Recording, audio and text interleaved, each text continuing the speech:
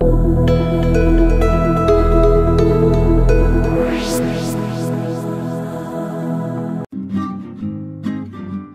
Uhali gani mtazamaji wa Msasa Online popote pale ulipo, karibu sana kwenye Msasa Updates. Mezani hapa tumepokea taarifa kutoka kwa Haji Manara. E, tunafahamu siku ya jana kulikuwa kuna tamasha kubwa la siku ya wananchi lililofanyika katika uwanja wa Mkapa e, mkoani Dar es Salaam ambapo lilihudhuriwa na watu mbalimbali. Shughuli ambayo ilikuwa ikifanyika pale ni kuwatambulisha wachezaji wapya, lakini pia kutoa burudani kwa mashabiki wa klabu hiyo kuelekea kwenye msimu mpya wa 2021 2022. Sasa mara tu baada ya mchezo mara baada ya shughuli nzima kumalizika pale na watu kutawanyika, msemaji wa klabu hiyo Haji Manara ameweka wazi kuwa alipata ajali ya gari.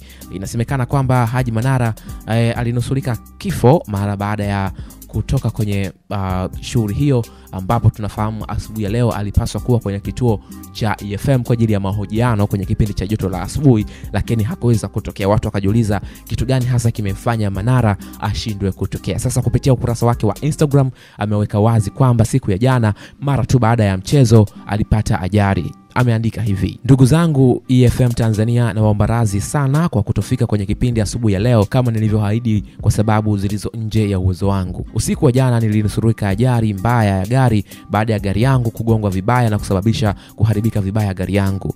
Hadi kuja kulala ilikuwa ni mida mibaya ya usiku mkubwa, na sikuweza kuamka mapema ili niwahi kipindi chenu alfajiri ya leo saa kumi na mbili. Nawaomba tena razi nyie na wasikilizaji na watazamaji wote mnisamehe sana na nimejisikia vibaya sana. Akatagi EFM Tanzania, Gerard Hando pamoja na Maulid Kitenge. Kwa hiyo hicho ndicho ambacho kilitokea siku ya jana, aliweza kupata ajari hiyo, lakini mwisho wa siku tunamshukuru Mwenyezi Mungu ameepusha, hakuna kibaya chochote ama kudhurika kokote kulikotokea. Hiyo ndo stori ambayo tulikuwa nayo. Jukumu lako ni moja tu, tafadhali subscribe kwenye channel yetu ya Msasa Online ili usipitwe na chochote pale ambapo tutaweza kukuwekea taarifa yoyote itakayotoka zaidi na zaidi, basi tutahakikisha kwamba tunaku update kama ambavyo unapaswa kuhabarika. Hii ni Msasa Online, tunasema Msasa kisasa zaidi. Mimi nakutakia utazamaji mwema vipindi ambavyo vinaendelea, lakini pia habari mbalimbali ambazo tunakupostia kwenye kurasa zetu za Instagram, Facebook pamoja na Twitter kama Msasa Online. Asante, tunasema Msasa kisasa zaidi. City.